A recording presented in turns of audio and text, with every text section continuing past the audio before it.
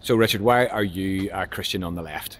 That's a very good question, Andy. I think probably the best way to describe it is is because politics can be very lonely.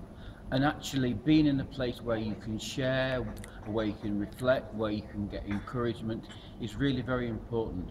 Uh, Christians on the left provide some really good um, inspiration. It's a place where we can be challenged. Um, it's a place where we can share without fear of um, of been criticised at all, and I find it a really useful, like thing where I can go and find a lot of encouragement. Um, and I know it's good for like Christians to be able to be relate, and you get a difference of opinions as well. Sometimes out there in the world, you can think, oh well, that you. I like that you're by yourself, but actually to be with like-minded people can be really, really encouraging. And so, why would you say you were on the left rather than in any other different part of the political spectrum?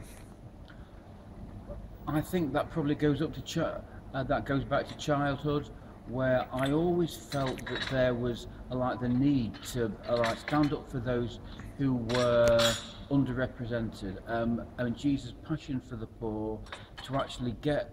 Um, better equality, you can either sit on the sidelines or you can work with people, with like-minded people, where you can actually not just talk about making a difference, but actually do it as well. And like just to be with Christians on the left, there was a great source of encouragement. And in a world that is very discouraging, to be encouraged and to get resources is really very important. Fantastic. And tell us a little bit about what you actually do uh, and what you've done as a councillor. Uh, okay. Uh, you've not just talked about this, you've actually done it, haven't yeah, you? Okay. I've been a councillor since 1991. In 1991, I had hair. So, all, so um, all those years, probably uh, like fighting for people, fighting for campaigns.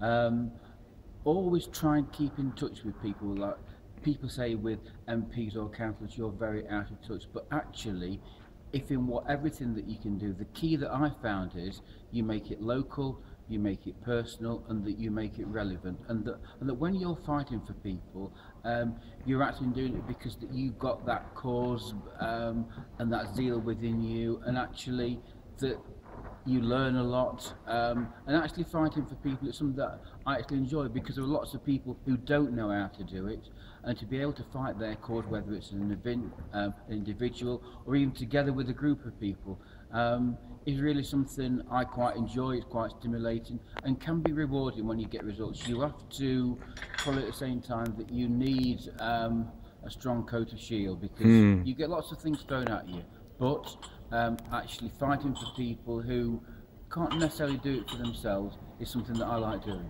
And give us one example of something that you've sorted out for someone. Okay, something that I've sorted out for somebody. Let me give you one of the mo more um, extreme examples. This guy had a really big problem to do with antisocial behaviour and a fence that belonged to the council but they would not repair it took me a long time, probably two or three years, but we persevered, and at the end, he got his new fence.